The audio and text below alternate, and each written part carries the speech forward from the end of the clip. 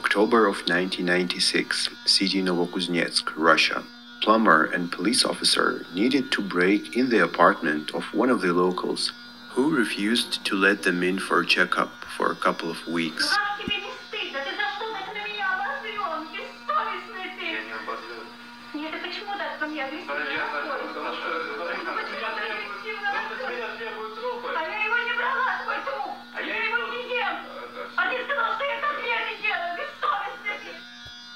When they finally entered, they see blood all over apartment, dismembered piece of torso in the bathroom, and a crying, heavily beaten up girl. Alexander Spesivtsev. I love my mom like any man would, but Alexander's did more than she should.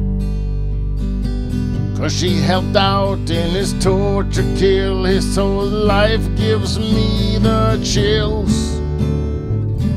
They called him the Siberian Ripper, but he was born Alexander Spesivtsev.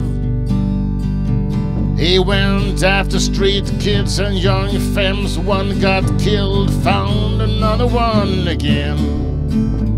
Convicted of four, confessed 19, but probably went up to 80 on me. Communists took care, hated democracy. Thought street kids went up cause of it, so he wanted to rid Russia from all of them. His hatred was pure, his back was tall. So him and his dear old sweet mama began a sociopathic, fucked up behavior. Chosen at random, victims ran on up to their apartment, soon to be gone. Tortured and killed, sometimes cannibalized, eaten with veggies, pasta or rice. After the feast, sweet mama took out the leftovers to Aba River at night. So most evidence was up and gone when the night went on to a fresh dawn. But one day people did found torsos and heads on the beaches around. First organ smugglers were suspected, but that idea was soon rejected.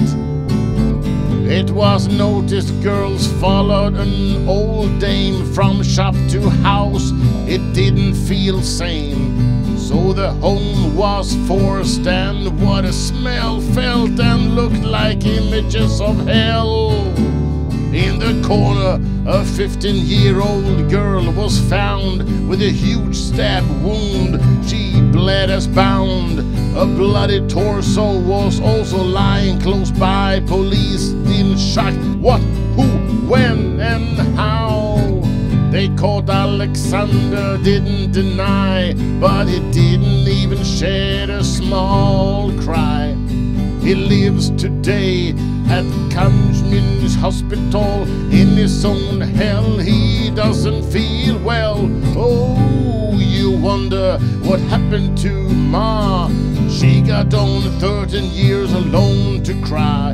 Mama, Ludmila will live alone to die. Maybe now the bitch will ask herself why.